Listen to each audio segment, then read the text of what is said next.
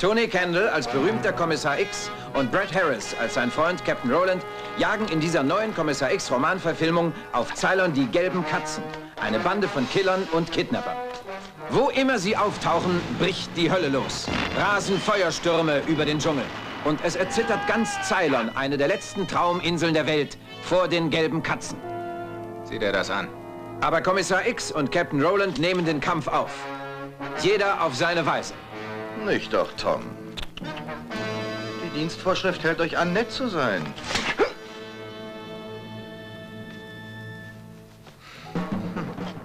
Der Trick war schon alt, als meine Großmutter noch Fräulein war. Kommissar X, drei gelbe Katzen.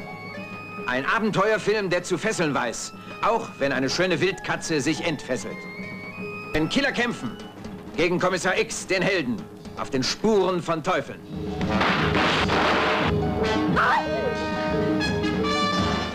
Gehen Sie nicht zu nahe. Hände hoch, Captain. Aber auch das ist Kommissar X. Grüne Augen, einen einladenden Mund, einen schlanken Hals und darunter einen wohlgeformten, entzückenden, reizenden... Mr. Walker, nehmen Sie Ihre Hände weg. Kommissar X, drei gelbe Katzen. Eine wilde Jagd. Zu Wasser, zu Land.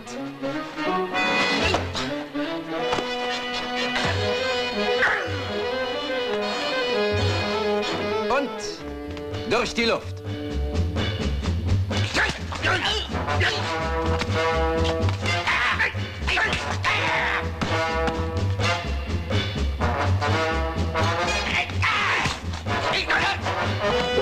Ein deutscher Abenteuerfilm mit Millionenaufwand für Millionen. Kommissar X, drei gelbe Katzen.